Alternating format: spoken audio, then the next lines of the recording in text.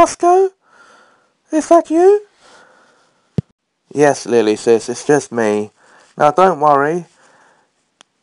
You're back to normal. The monster inside you is gone.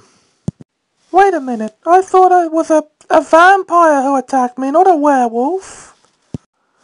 You were a vampire, Lily, but remember, being out in the sun killed you again.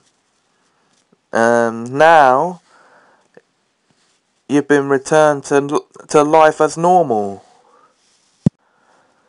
Of course. I believe I owe you, my dear brother, some certain thanks for liberating me from that evil prison of a body.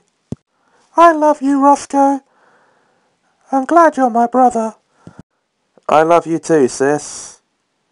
You mean everything to me as a younger sibling. So what shall we do now? It seems a shame to let this sunny weather and this nice place of a beach go to waste. I agree with you there, sis. To celebrate you returning to normal life, I say we spend some time together as bro and sis. You deserve it after that whole ordeal you went through. I'd love that, Roscoe. It's about time I got to spend time with my dear brother. So, what do we do first? I'm leaving that up to you, sis, since you're the one I'm treating. I want you to choose what we do. So whatever you choose, we'll do. I like the sound of dining at that fine restaurant just down the street from here. What say you?